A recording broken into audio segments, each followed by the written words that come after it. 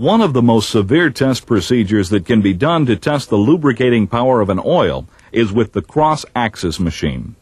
This machine is standard equipment for lubrication manufacturers to test their products. With this test instrument, extreme pressure can be exerted on two metal surfaces while an oil bath attempts to protect the bearing surfaces. The shock test is the most severe of tests because it doesn't give the oil a chance to react. Shock tests can be produced on this machine by quickly pushing down on the torque wrench to create excessive friction. The ammeter will show how much friction is generated by measuring the amount of electricity used by the electric drive motor. Between each test, the race bearing will be carefully cleaned and polished, so each lubricant has the same opportunity to demonstrate its lubricating ability.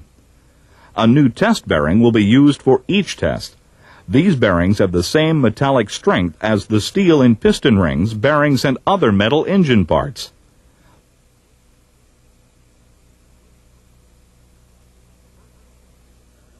The first product is a very popular engine oil.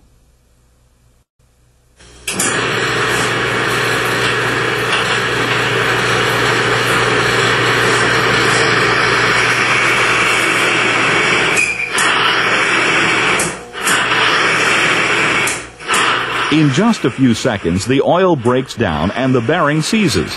The motor is physically stopped. Watch the amp meter as the motor pulls more and more electricity to counteract the friction and heat. And the test bearing is severely damaged. There wasn't even a chance to try the shock test. After cleaning the machine, a second popular engine oil is tested. Synthetic oils are considered one of the best engine lubricants on the market today.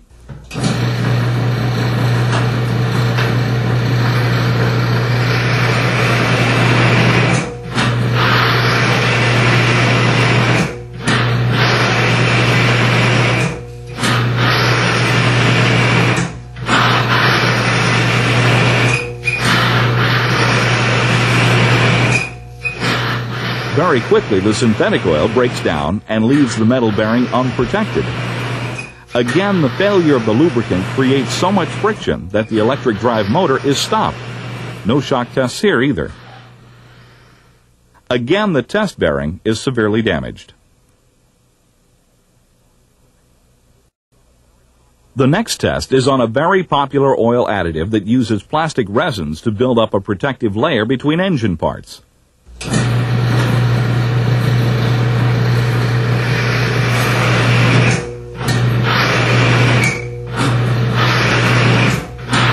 This additive provides no more protection than the other lubrication products. Amp readings go up. Friction causes extreme noise as the additive breaks down and the friction becomes so severe that the drive motor just stops. The bearings fuse together as they can in your engine. Just look at the damage on the test bearing. Now Bitron is tested. The test conditions are the same. We will dilute Bitron with a typical motor oil as it would be in an automobile engine.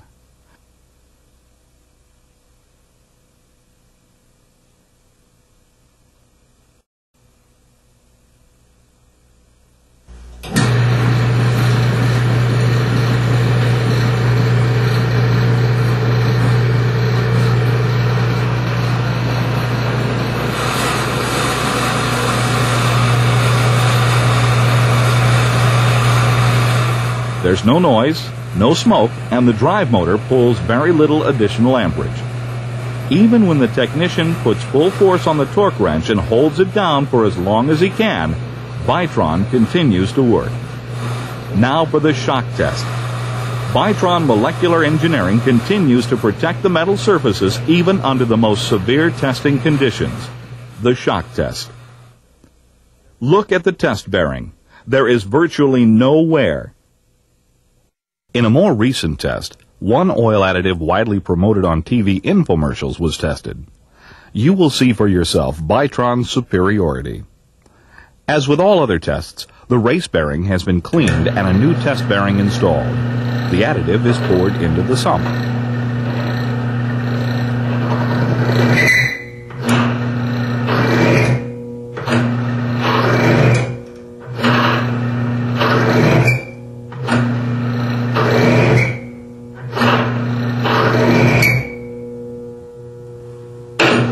As you can see, it fails almost instantly.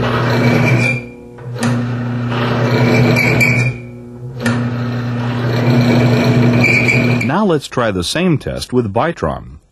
Again, the machine has been cleaned and a new test bearing installed.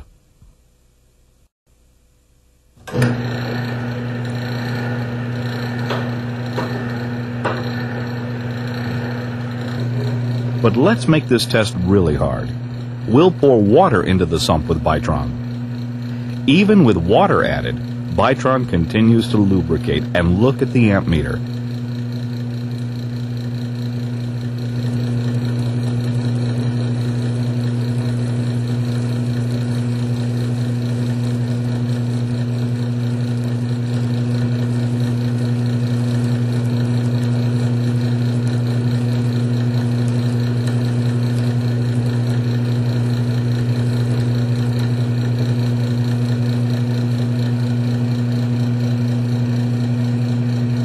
To make this test even more difficult, dirt will be added to the Bitron. Picture what would happen to your engine if water and dirt got into its oil.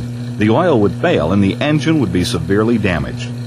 But with Bitron protecting the metal surfaces, there is no noise, heat, or additional load placed on the drive motor. Just look at the amp meter. It is well within the normal range. Bitron keeps protecting. Now the supply of lubricant is removed Yet even with the shock test, it continues to perform. Bitron keeps protecting.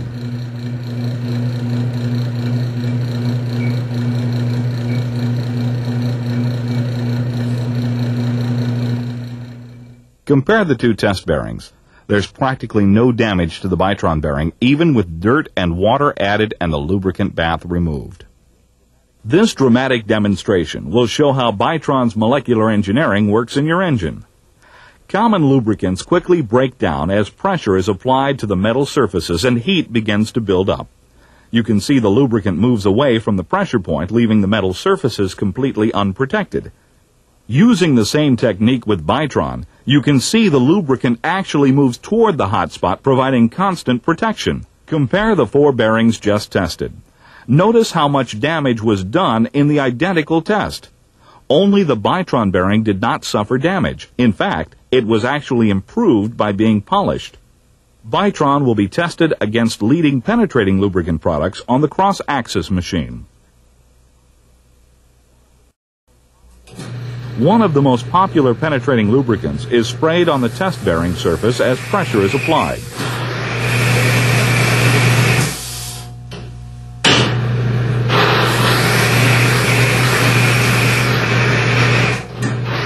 Quickly, the amp meter goes up. Friction and heat are generated and the lubricant fails. The amperage draw is very high. The test bearing is extremely damaged.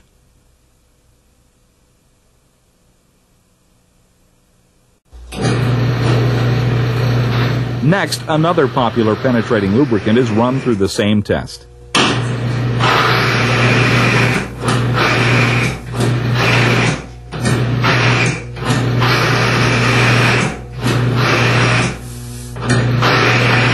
It does no better than the first. Only minimal force was applied, and yet it quickly fails.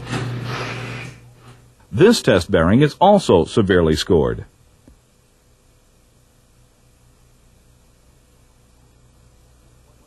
But when Bitron is tested under identical conditions, the amp meter maintains its normal range.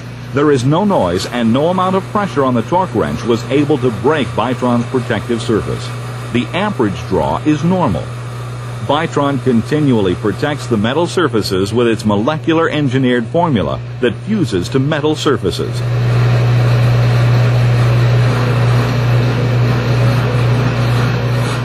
When comparing these test bearings, again the difference is obvious.